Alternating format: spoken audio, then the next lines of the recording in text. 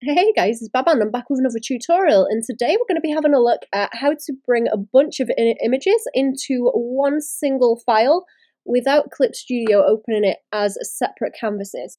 So what I want to do as an example is explain how I make my little emote sheets like this. I'm also going to explain how this helps me to either like bring in refs into a single file or how it helps me with resizing like a huge set of emotes and getting them all the different sizes just a little bit quicker than it would otherwise. I also have an emote tutorial which I will put a link to now and also at the end of the video. Okay, so when we're using Clip Studio, if I just go to a blank file, if you want to bring a bunch of images in, if I just go onto Finder and I find these emotes, if I go and grab them all like this, I'll grab a set of them. If I drag them over like this, straight from my files, then you can see at the top, it's opened all of these on separate canvases. And I don't want that because that's the way I used to do it. What I would do would be to plunk them all in like that and then I'd go copy, paste, copy, paste onto this new file and then kind of move them around and make a sheet, which is kind of the same thing I would do with refs. But I figured out a better way of doing that, and it helps, especially when you've got a massive set of emotes or something. So let me get rid of all these extra ones that have just opened as different layers.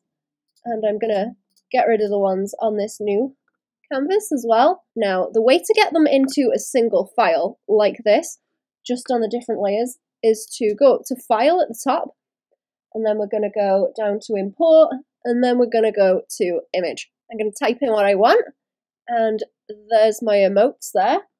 And now what I'm going to do is select all of them like that, and then hit open.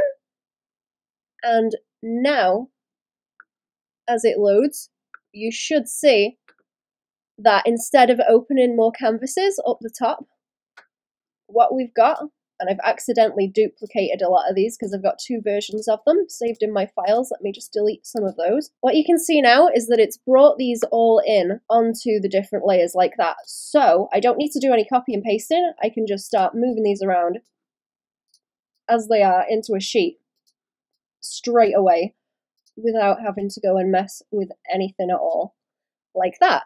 And it's super duper useful if you've got some different things like this that you want to make a sheet out of, let me go and try some more. Let's go and do it again with some different things. So I'm going to go back to File.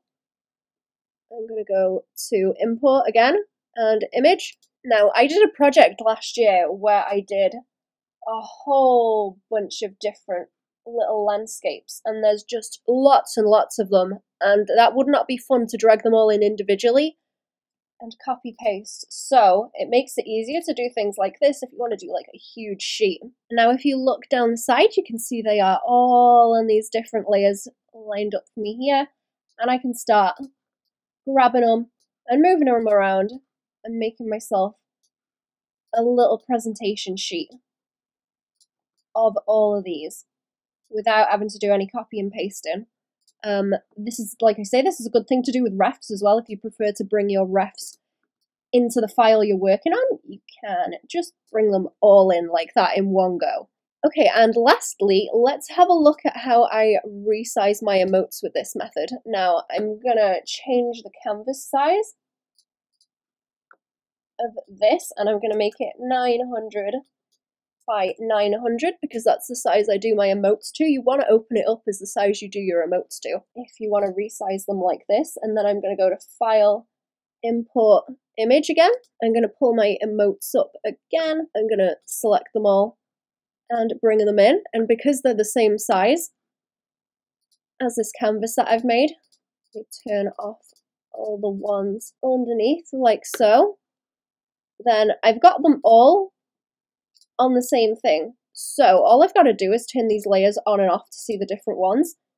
And what I can do from this to get my other sizes is go to change image resolution like this, just the way that I do it. And then I can go and do 112, which is the biggest size, like that. And then straight away, because they're all on different layers on this, I've got them all ready to do. And then all I need to do is go and turn these layers on and off like that. I can save it pretty easy like that. Just go and put in whatever I want to save it as. And then once I've saved one, I'll turn it off, do the next one, bring the save up again, and save it, and then the next one, and save that one, and the next one, and save that one. I'm not actually going to save these to show you guys, I've already got them all saved, but just to show you guys how I'd go through it, and that I've got just, just quick buttons that I can press, so it takes me like a fraction of the time that it would to go and resize them all separately. And then if I go and hit undo, once I've done all of my biggest size, I can go back to change image resolution. And then I can do the 56 size like that. And then just go through them again as I would like that. Just changing the file name slightly as I go to tell me which size is which. Like that and like that. Just all the way through them. And then I'd go back again and do it one last time with the 28 sizes. I'm making sure that I change the size from the biggest one first so that it doesn't degrade it any further. I always go back to the largest size before I change the size down to a smaller one. Uh, yeah, I hope that helped.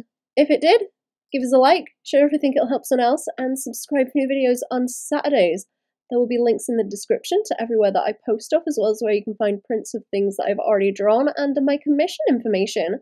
Like I mentioned before, I will put a link to my emote tutorial that I mentioned at the start on the screen now. I also like stream most weekdays, like like most weekdays on here and on Twitch. If, if you wanna if you wanna come if you wanna come along and chat with us. So uh, yeah, uh, thanks for watching, lads. Bye bye. Bye bye.